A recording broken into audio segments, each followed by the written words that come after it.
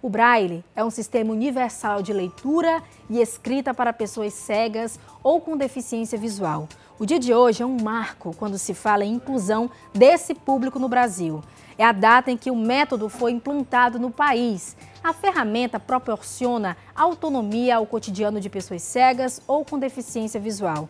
Aqui no Piauí existem programas e acervos em braille para essas pessoas. O Rony Oliveira preparou uma matéria especial sobre essa temática. Confira. Nascido em 8 de abril de 1834, José Álvares de Azevedo foi o primeiro professor cego do Brasil e pioneiro na introdução do sistema Braille no país. Foi também o idealizador da primeira escola brasileira para cegos, fundada em 1854 no Rio de Janeiro. Anos depois, em sua homenagem, o 8 de abril de seu nascimento se tornou um símbolo de luta e foi escolhido para ser o Dia Nacional do Sistema Braille. A data tem sua importância, tendo em vista a busca pela inclusão das pessoas cegas ou com deficiência visual nos ambientes escolares, profissionais e de lazer também. No Piauí, o acesso dessas pessoas tem se tornado ainda mais amplo, principalmente no que diz respeito à educação. No bairro Monte Castelo, em Teresina, por exemplo, há uma escola exclusiva para este público, que funciona há 25 anos. Quando esse aluno chega, ele vai a, aprender o sistema Braille, é, o Soroban, que são as nossas modalidades de atendimento, orientação e mobilidade, PEV, que são práticas educativas para uma vida independente.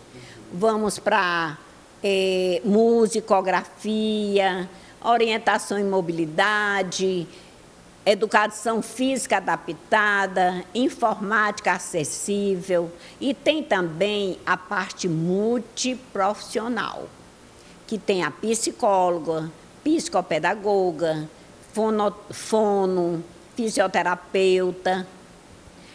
Aí assim, esse aluno vem para cá se ele vem para cá pela manhã, ele vai à tarde para a escola comum. Uhum.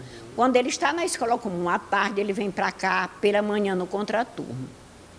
E aqui nós fazemos toda essa produção de material, não só capital, mas também nós atendemos o interior. Segundo professores e alunos, o local hoje é muito mais que um centro de apoio, e sim uma segunda casa para os alunos.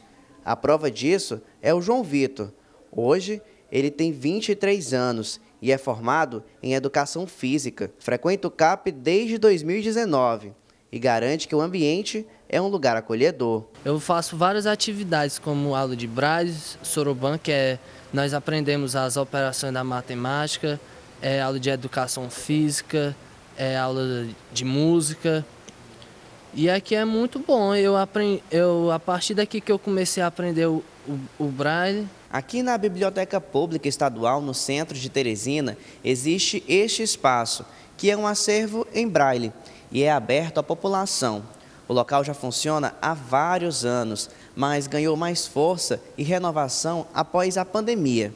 No local, um verdadeiro universo de conhecimento e histórias contadas em braille, promovendo assim mais acessibilidade e inclusão para todas as pessoas. O objetivo do Estado é levar acessibilidade para os 224 municípios em todas as escolas possíveis.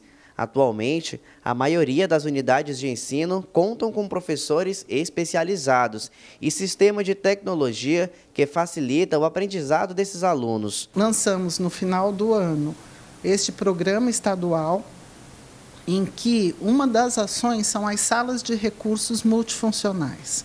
O que são essas salas?